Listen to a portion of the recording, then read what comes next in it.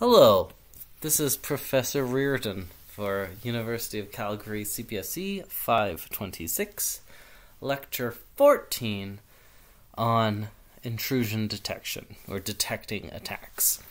We spent a lot of time talking about all the different attacks that can exist, um, and we've come up with some ways of preventing the attacks, but we haven't spent much time talking about how to notice in the first place that there is an attack or that an attack did occur.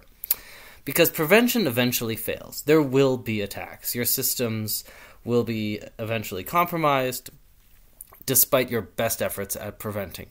So, what we need is an ability to detect such compromise, possibly respond to such compromise, and as well an attempt to contain the damage that such a compromise would do.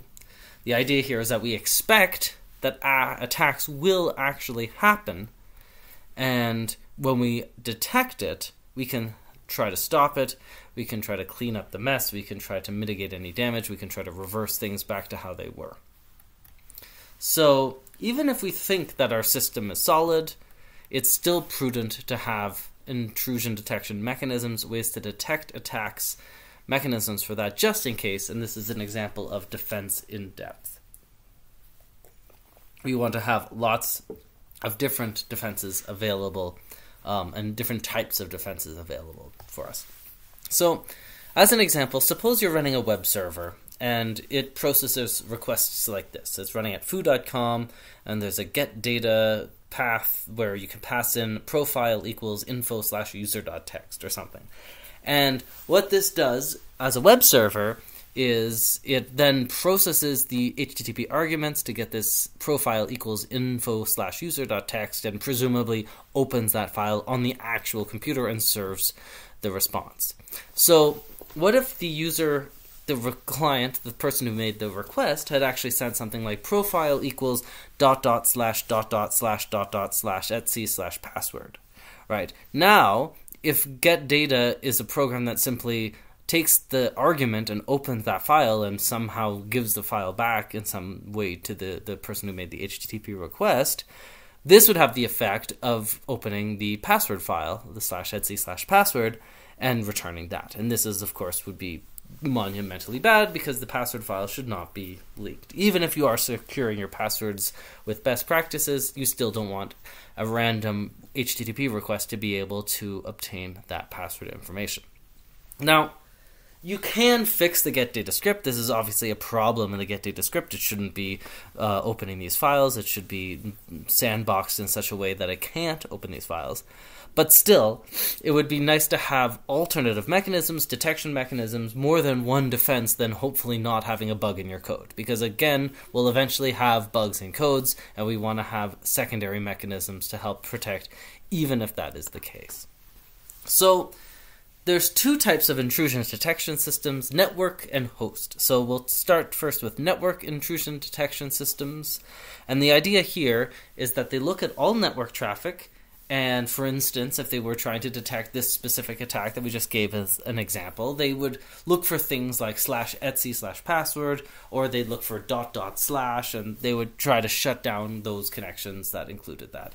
You can imagine they would have to list all the different files that should be protected like this, all the different files that might correspond to an attack happening, or any signature of an attack that could be occurring would be on the list of things that the network intrusion detection system would be looking for. And when it sees an example of something that shouldn't be happening, then it can shut down the connection. It can say, no, this connection is not good.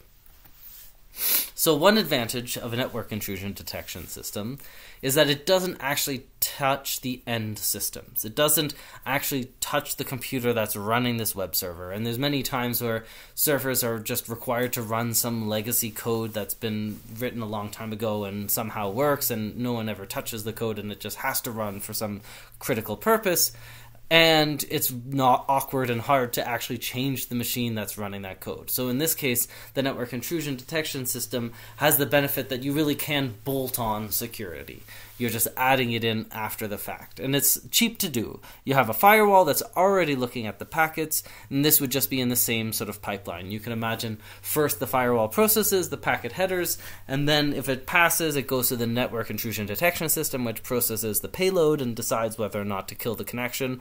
Alternatively, it could in parallel be sent to the network intrusion detection system that can make a decision not in real time, but uh, after it has processed it and end a connection uh, uh, after the fact, and hopefully with enough that it reduces the latency for legitimate requests, but is prompt enough to stop illegitimate requests. This also has the benefit of central control over all your services. Again, you have one system running the network intrusion detection system, you have one configuration file to update, and it does its job in one single place. Now, what are some disadvantages? Well, we can look for slash etsy slash password, but of course we, we do have to come up with all possible things to look for. So not just slash etsy slash password, but slash etsy slash dot slash password or dot dot slash etsy again. All the different ways that this could be represented, all the different files that correspond to the same resource in the end. We have to scan for um, this dot dot slash to try to escape the directory that we're in. But what if this is actually a legitimate request? What if for some reason our HTTP server uses dot dot slash in some way that is meaningful and it is not actually representing a file system path? It's it's not unreasonable to say that it might be used this this character string might be used for some other purpose, in a legitimate purpose, and now a network intrusion detection that simply blindly considers the string dot dot slash to be an attack traffic would trigger false positives. As well, there's many ways that it can appear without explicitly being dot dot slash. For instance, percent %2e, percent %2e, percent %2f would be an HTTP hex encoded string that represents the same information, dot dot slash, 2e being hex for dot and 2f being hex for slash. And this is a sort of example of evasion or uh, obfuscation, right? So now the network intrusion detection would have to see all possible ways that the ultimate server would interpret a string into dot dot slash, not just the string dot dot slash. And finally, what if it's in secured traffic? What if it's in encrypted traffic, HTTPS and not HTTP? Well, now you have a network intrusion detection that needs to be actually doing a man in the middle attack. It needs to access decrypted traffic. It needs to know the session key. It's no longer end to end secure. And this opens up a huge number of further problems that you don't want to have to be dealing with. So, an alternative is host based intrusion detection system. And here, the idea is that you instrument the web server itself. So now, the web server is converting all of its input into some arguments after it does any deobfuscation, after it de- decrypts the traffic over HTTPS, and it has the actual values that it turns it into. So the obfuscations don't matter anymore. It knows exactly what it's about to pass as a string into the program. So now it can scan all of these arguments on the host side and check to make sure that they're good arguments. Right? So now before running some legacy program that's actually going to run on these strings, this server could check the host based intrusion detection system, checks all the strings, makes sure they're safe, and then proceeds. So, as a pro, you don't have to worry about obfuscations or different encodings, like percent %2e for the dot symbol, and it works with TLS secured traffic without having to do complex and insecure stuff like actively man in the middling all of the network traffic in your organization.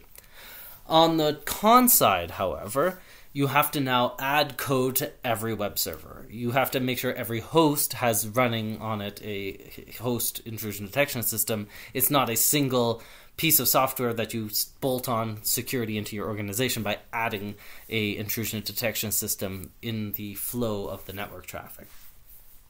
As well, it only now detects web server attacks. So if the attack would have happened because of packets at the operating system level or something before the web server actually processes it, it won't be able to detect. You won't be able to have rules for that. And you as well, you still have to consider all the other files. So like dot dot slash dot dot slash etsy uh, slash password or password slash dot slash or slash etsy slash dot slash password all the different permutations that represent the same resource the third approach is to do logging so here you store log files for all of the web servers on a computer. So now all of the requests that are sent, all of the HTTP requests that get sent, you get all the arguments, you save them to a log, and then, for instance, every night you look at them all. You have a program that runs, looks at all the log traffic, scans all the arguments, sees what you get, and um, this also has the benefit of giving evidence production. You actually recorded all these requests, you can see what they are, you have evidence after the fact. It's not that the computer runs it or doesn't run it, you actually recorded all of it, right? So it's cheap to do. Web servers are already doing logging, you just configure it to log these arguments, or you may already be doing that. And of course, it has no problems with the different encoding types, it has no problem with TLS secure traffic because it's happening at the host side.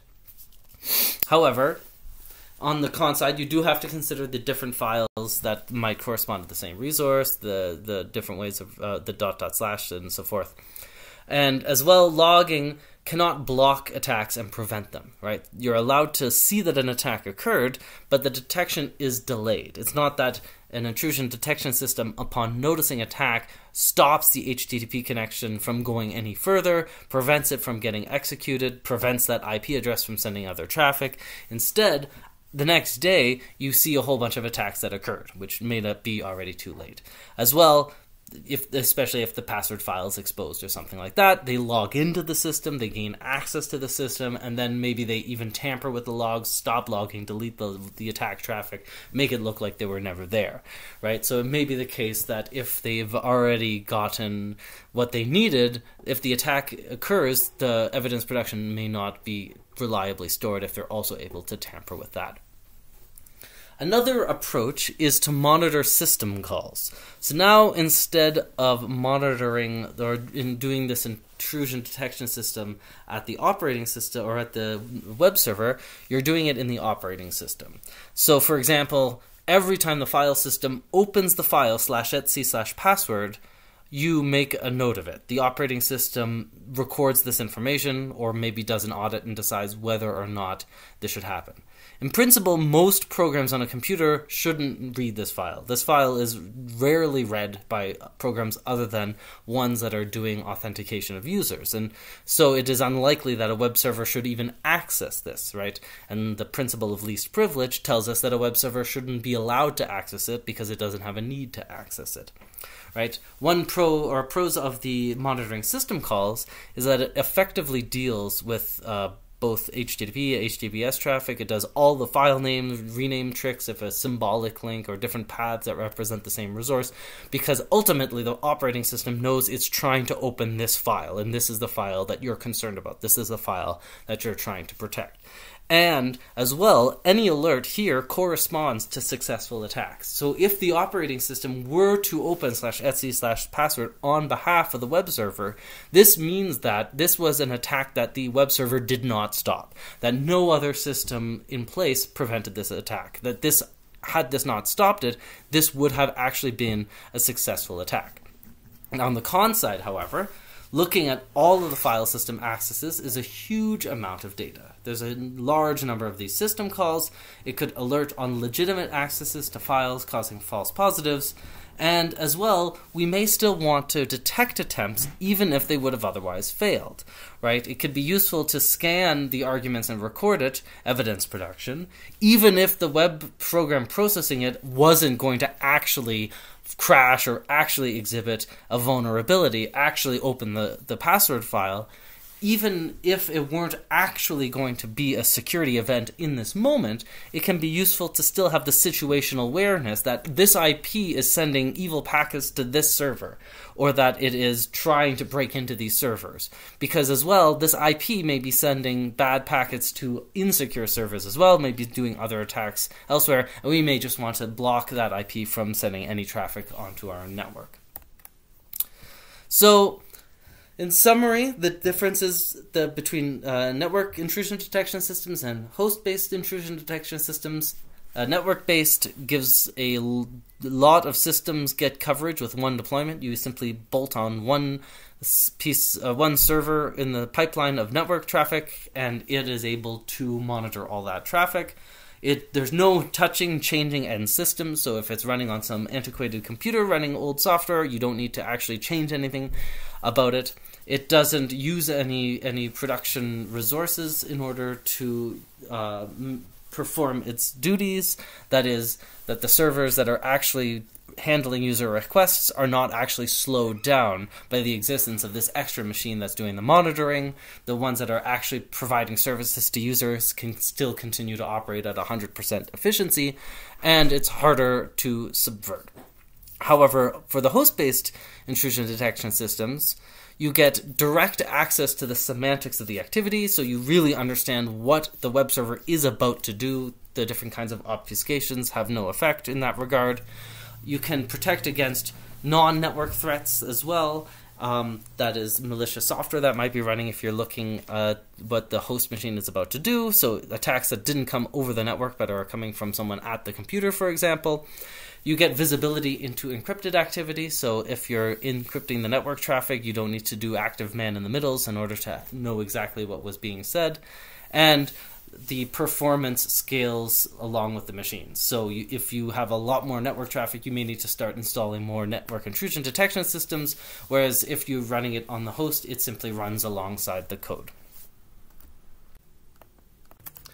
So now let's think about how we could actually detect this sort of deviant behavior or malicious behavior. Basically, how do we generalize this concept that we have sort of used as our example of reading the password file, reading slash etsy slash password? How do we generalize this into the concept of just bad activity in general?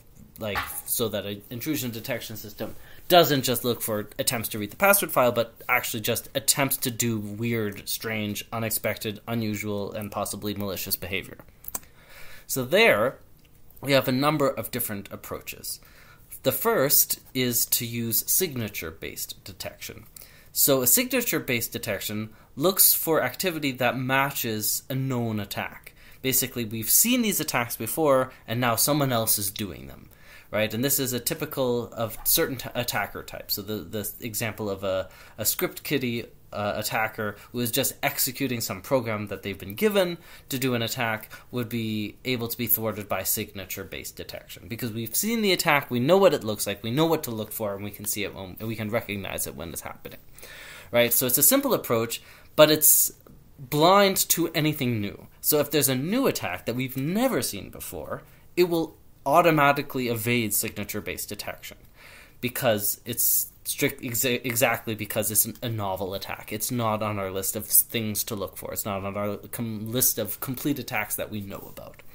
And signature based detection typically considers just the syntax and not the semantics. So it's not trying to understand what the attacker is actually doing, it's just looking at the shape of the packets and detecting whether uh, it fits an attack shape or not in that sense. So it's a, a simple um, way of defeating some adversaries, but not a, as an effective way of defeating uh, most adversaries because it can't find new novel attacks.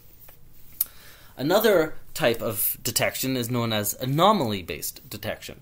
Here, we build a model of normal usage. So, for instance, a model might be that we call add item some number of times, uh, and then maybe we call allow remove item and add item and something like that. So we have these functions get called, and then we call the shopping cart function, and then we call the pay function. So we build this model of how a user would interact with a network service, how they would interact with a web service. They this is the standard route and it would be very unusual to call pay before going to the shopping cart or to call pay before adding items or something like that.